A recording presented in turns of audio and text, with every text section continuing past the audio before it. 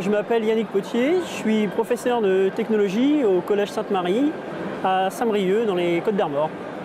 Donc l'idée est de lancer un projet autour de la télé-réalité. Oui voilà, en fait euh, il fait suite à un premier projet qu'on avait mené avec mon collègue euh, Pascal Bioué puisque j'ai l'avantage de, de travailler avec lui dans la même école. Et euh, donc on avait euh, fait une première euh, avec quelques petites vidéos qu'on avait montrées aux élèves après. Et on s'était rendu compte que le fait de se voir en, vidéo les, motivait.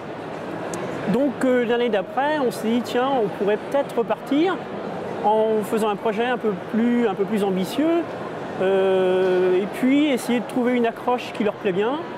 Donc on a tout de suite à la télé-réalité, puisque c'est vrai que c'est des choses qu'ils regardent pas mal. Quoi.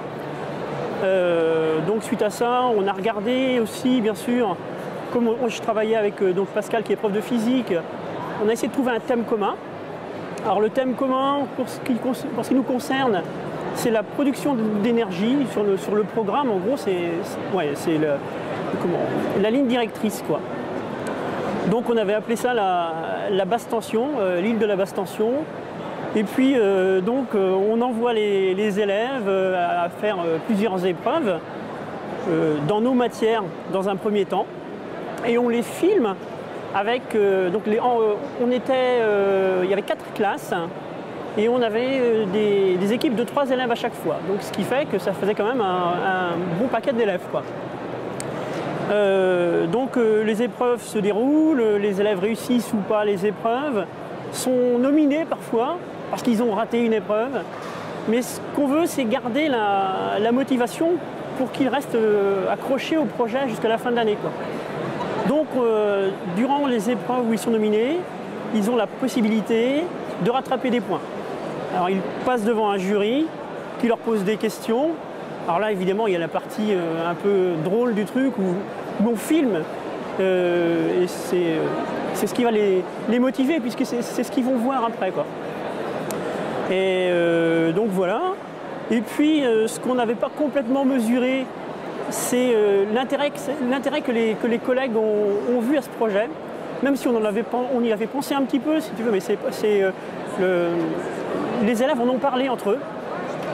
Et les profs ont vu que les élèves s'intéressaient au projet.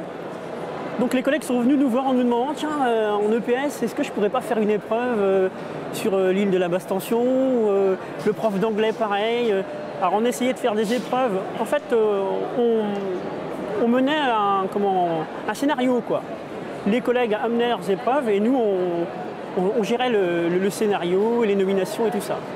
C'était diffusé, parce que tu as oublié de dire, je pense que c'était diffusé sur... Alors oui, chaque, chaque séquence vidéo qui était filmée était diffusée sur le site de l'école.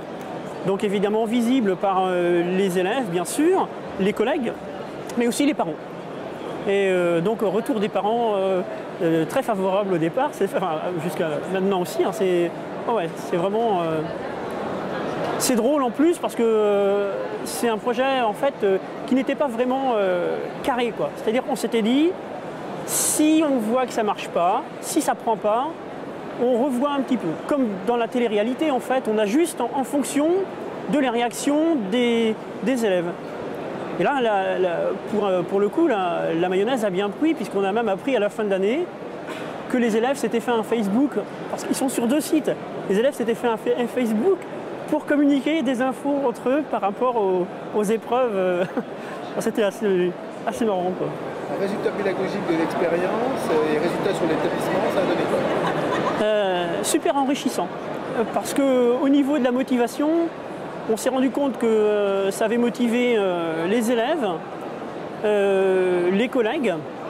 Et puis au niveau de l'établissement, on a eu quelques retours aussi parce que la, presse du, secteur a, vu le sujet, a fait quelques petits, retours là-dessus. Donc positif, hein. globalement c'était très très positif. Voilà.